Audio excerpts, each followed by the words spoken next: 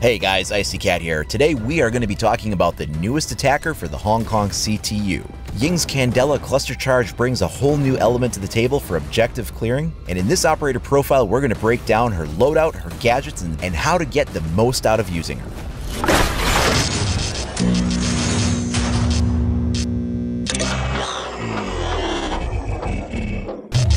Ying is a 2-speed, 2-armor attacking operator. Choice of primaries include the T95 LMG with an 80 round drum fed magazine. It has highly stable accuracy with low recoil and a fast reload speed. Or she can go with the 612 combat shotgun. This is a bullpup style semi automatic shotgun with, with a 6 round cylinder cartridge that you can swap in and out. While the reload speed is a little faster compared to other shotguns, you will have to be reloading more often due to that lower 6 round total capacity. Besides her stand pistol variant, she will also have the choice between a breaching charge or smoke grenades. And I'm going to give the recommendation to the breaching charge hands down because that is going to pair very well with her Candela cluster charge. So let's talk a little bit about that device. This can be deployed in a variety of different ways, and the first of those is going to be something that's somewhat similar to the way Fuse's cluster charge goes off. She can set it on a wall and it will push through to the other side. This also works for any wooden barricades or castle armored barricades.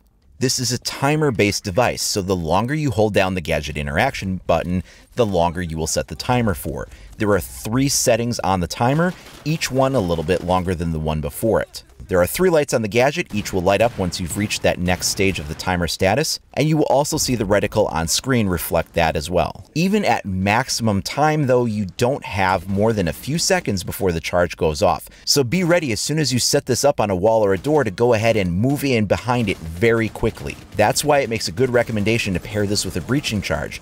Deploy the Candela charge on a wall, set off your breaching charge and follow in right behind. And this is a really solid tactic for a couple of reasons. First off is that she has a special visor that grants her immunity to the effects of her own device. She cannot flash herself. But it should be noted that she's still susceptible to other forms of flash grenades or Blitz's flash shield if she looks at those. This only grants her immunity to her own device.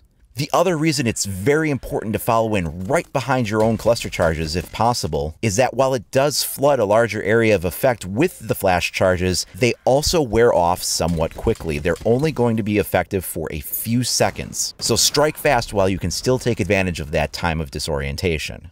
Soft breaching walls and barricades aren't the only way that she can deploy her gadget though. In addition to that, she can also roll the Candela charge along the floor. Again, the length of the timer here plays an important role because the longer it is set for, the further it will roll into the room before the detonation occurs. The Candela charge can be slowed down as it's rolling on the floor by barbed wire. So if you have that in there, it's not going to get as far as it would have otherwise. Also, if Bandit has a battery on any of those barbed wires, it will instantly destroy the Candela charge if it comes into contact with it. If you're fast, the charge can also be taken out by either shooting it or using any type of explosive device. The Candela charge can also be countered by Jaeger's ADS units, but how it's countered is going to depend very heavily on how the gadget itself is deployed. If an ADS unit gets line of sight on a Candela charge, it will treat it as one single projectile and take it out with one shot. However, if you soft breach a wall or a barricade, it doesn't have line of sight on the Candela charge itself, so it instead has to track the smaller individual spread of pellets that come out of it. In that case, you will burn out all three of Jaeger's ADS units if set up in a room, provided they have line of sight on that multitude of charges. Then Ying will still have a couple more in reserve and be able to throw them in without any other problems. So depending on how the Candela charge is deployed, will have a very big impact on how effective Jaeger's ADS units can respond to the threat. Okay, so so far we covered using it as a soft breach on walls or barricades, as well as being able to roll it along the floor or underneath barricades. But she still has a few more options available for how to deploy the device.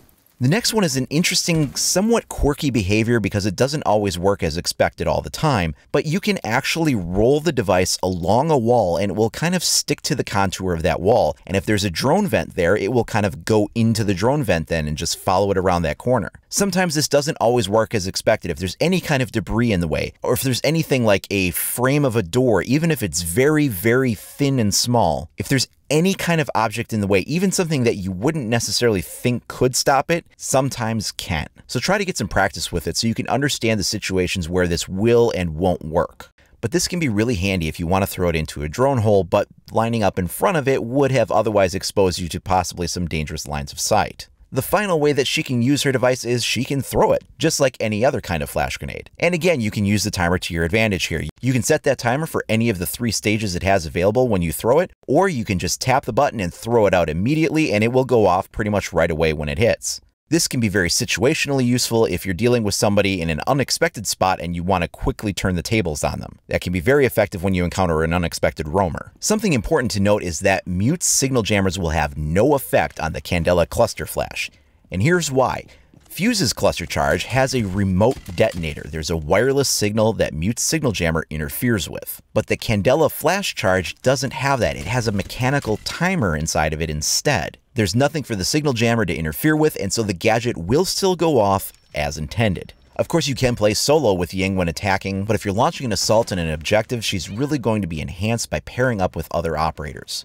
Anybody that can breach a hole in a wall is going to be really effective because once you throw that in there, you're going to want to have line of sight on those now disoriented defenders. But a particularly effective combination comes from running with Fuse. Synchronizing Fuse's cluster charge with Ying's Candela flash charges can make a whole lot of destruction in a room that the defenders will have a hard time dealing with and find themselves completely overwhelmed. If you can time it properly, Ying can essentially blind everyone in the room, and then the second or so later when all the Fuse cluster charges go off, they can't run away because they can't see where they are and where they're going, and you can wind up with a few dead enemy bodies very quickly.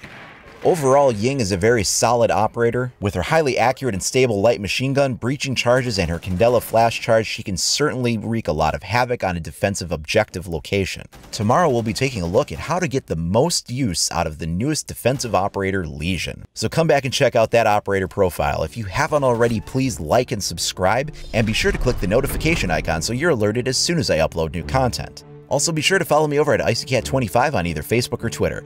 Thanks a lot for watching, everybody. We'll see you next time.